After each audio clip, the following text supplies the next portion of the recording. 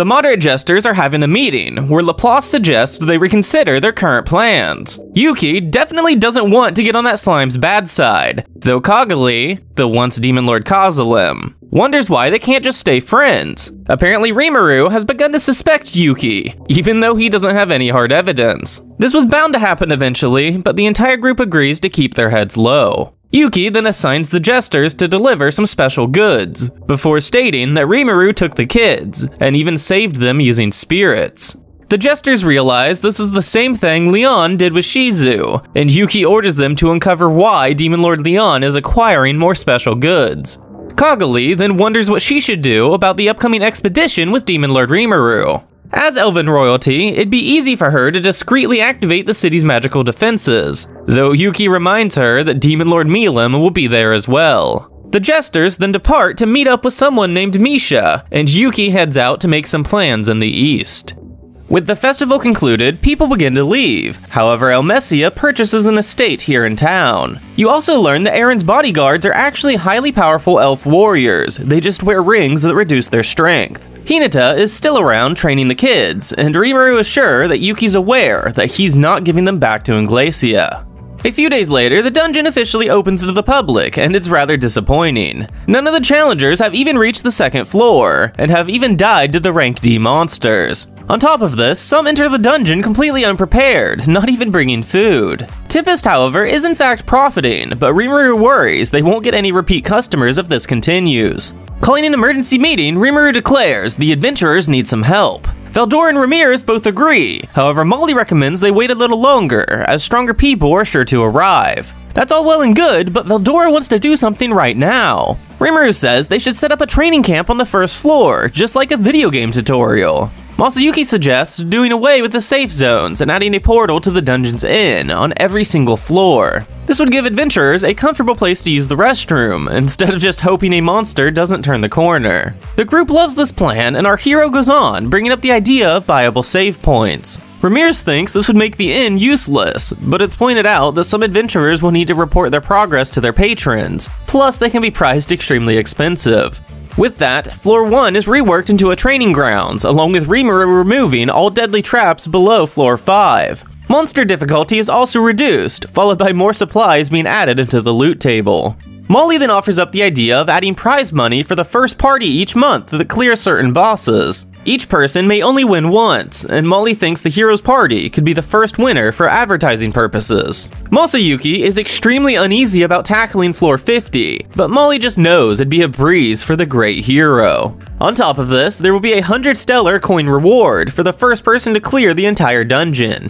This grand amount worries Ramirez until she's reminded who's the final boss. Our slime is also willing to fight anyone who can conquer the dungeon, and Masayuki declares he has no intention of ever battling Rimuru. Upon Molly's exit, Masayuki brings up his future battle with Bovix, so Rimuru promises to think of a way to help him through it. Due to all the changes, the dungeon experience improves, and some people begin progressing at a slow but steady pace. Though it's not long before adventurers from the guild arrive, turning it into a contest to see who can delve deeper. At one point, people even began creating and selling maps, prompting our group to occasionally rearrange the floors. Now there's a certain party, named Green Fury, that's seemingly speedrunning the dungeon. It only took them 3 days to reach and conquer floor 20, and Rimuru notices they always seem to choose the correct path. Their leader is using elemental communication, which is a high-level skill allowing them to speak directly with spirits. Another meeting is held where Veldora compliments Masayuki's ideas. The hero is stunned upon realizing this to be the Veldora, followed by Rimuru announcing the Dungeon Master, Demon Lord Ramirez. Molly is then introduced, followed by Masayuki formally stating himself as the hero. Now it's true that Masayuki's unique skill is always active, but Rimuru believes his natural charisma to be praiseworthy as well. With that out of the way, the group discusses the dungeon's finances, which overall are doing fantastic. Ramirez then brings up Green Fury, offering to disrupt their spirit communication. Since it's not against the rules, Rimuru doesn't feel right about punishing them, so Veldora states they can just add in some spirit-free areas. Next, Masayuki wonders if monsters could drop items on death, and Ramirez says she'll have the Dryads force-feed items to some monsters. Then if they add in unidentified items, it will encourage people to leave the dungeon to get them appraised, thus increasing Tempest's profit. Everyone happily agrees. Masayuki announces it's time for a system update, leaving everyone but Rimuru very confused. Later that night, Shion hands over a report as Diablo pours some tea. It tastes good, but a bit different than normal, which is because it was surprisingly brewed by Shion. Rimuru openly praises her, and then remembers that he never rewarded Diablo for successfully instating Yom as the king of Falmouth. After a bit of prodding, Diablo reveals he'd like to hire some helpers to take on the more menial tasks, such as destroying entire nations. Rimuru is concerned about their potential strength, but Diablo explains it's just some old friends and that they'd need physical bodies created for them. Assuming it can't be that crazy, Rimuru agrees, followed by Diablo revealing they'll each have underlings of their own. He's expecting a thousand bodies at most, causing Rimuru to exclaim that he's looking to start a war. But he's reassured that Diablo could easily take on all 1,000 of them. It's a few days later that the hero's party clears floor 30, causing all of Tempest to erupt into a massive celebration. His victory against the boss was 100% rigged, but hey, it's great advertising all the same. Molly exclaims the hero is amazing, though in reality, Masayuki didn't do much. But Molly believes he's just being humble. Now the floor 30 boss was an unintelligent ogre lord, which has a 2% chance to drop a piece of equipment from the ogre set. The full outfit gives a special effect which is super effective against the floor 40 boss, meaning adventurers will be enticed to grind for the full set. Since the changes, the Dungeon's Inn has been completely packed. The restrooms are likely the primary reason, however it also contains a bath and equipment maintenance services. Due to all of this, the dungeon's profits continue to rise, so Rimuru thinks it's time to give their workers a proper salary. They definitely have enough money to afford it, but Molly doubts their workers will accept this. Ramirez chimes in asking about her agreed upon payment, and Veldora cuts in wondering if he can be paid as well. Molly had already planned to pay both of them, and Rimuru warns them to be careful with their money. Though of course they reassure him there's nothing to worry about.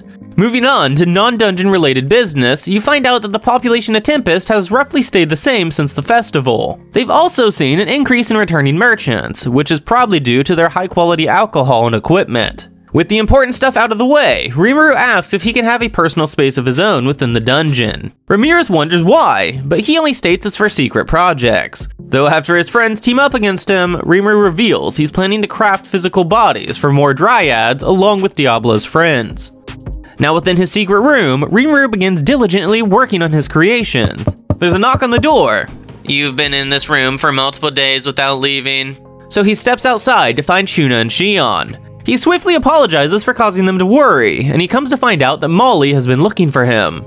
His friend bursts into the meeting hall, exclaiming that another team just beat floor 30. That seems like good news to our slime, but it's revealed they're already nearing floor 40. This is due to them abusing a loophole in the rules, which involves the viable save points. You see, at floor 20, the party of 10 created a save, left the dungeon, each formed their own party of 10, and reloaded their save, now with a 100 man army. Granted, only 10 of them can enter a boss chamber at a time, but if parties attack said boss back to back, it won't have time to properly heal. Technically speaking, Green Fury is playing by the rules, and Molly reveals they're a band of mercenaries known as the Sons of Velt, who seem to be backed by Inglacia. Even with their questionable strategy, Rimuru still isn't worried, as he believes the floor 40 boss will give them trouble. Though he's told that Veldora and Ramirez believe Green Fury's leader is still holding back.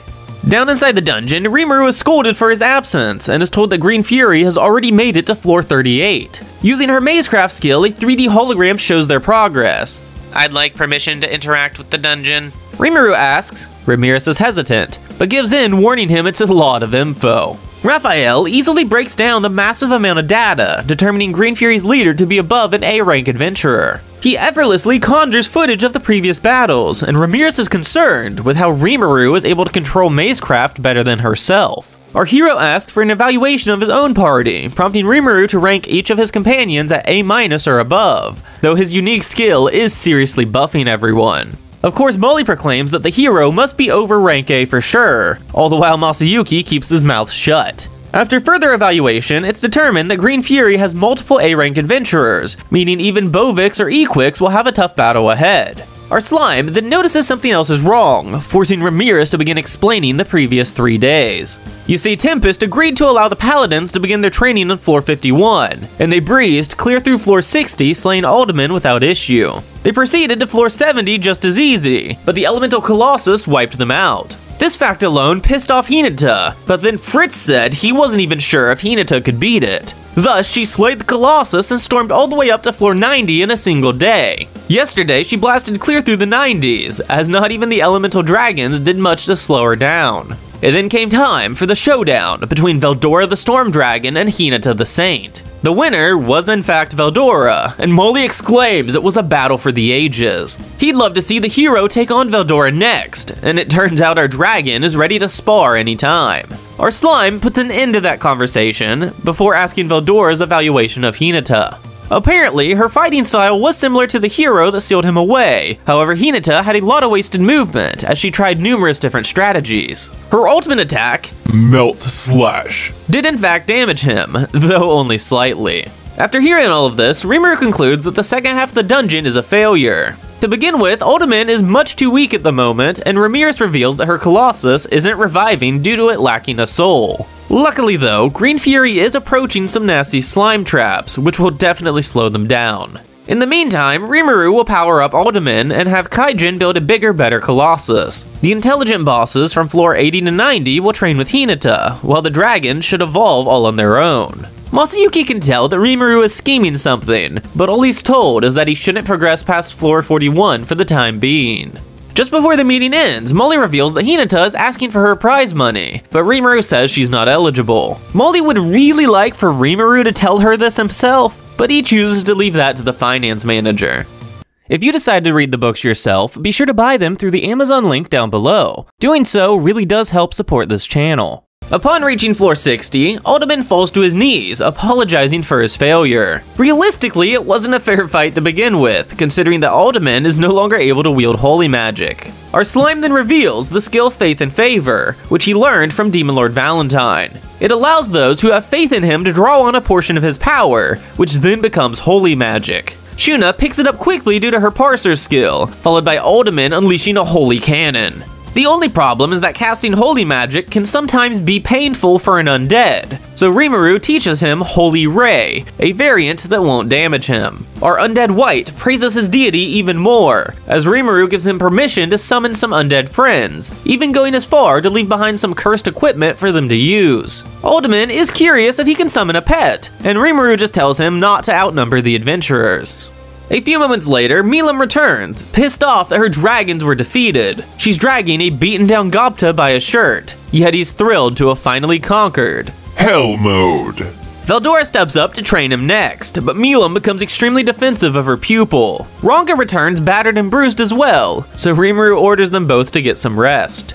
Now our slime is glad that this group is all together because he recently finished his latest project. He got the idea from Archduke Erald and pulls out an item which Veldora says looks similar to a soul vessel. Next he hands out small black orbs, telling each of them to think about a specific monster they are fond of. Before their eyes, the Master Cores transform into a ghost, skeleton, slime, and living suit of armor. Our Demon Lord exclaims these will be the guardians of the dungeon, which they'll use to expel the intruders. It's pointed out, however, they are much too weak, prompting Rimuru to show them how to use the pseudo souls to possess their monsters. Our dragon exclaims this is just like a video game, as their avatars will be able to level up and even learn new skills. However, in order to take on Green Fury, they're going to need some powerful equipment, so they meet up with Kurobe and Garm, who are both excited to tackle this new project. In the meantime, our squad practices on low-level adventurers and monsters, sometimes even dying in the process. I mean, Ramirez quite literally controls the dungeon, yet somehow manages to accidentally set off traps, which then end up killing Veldora.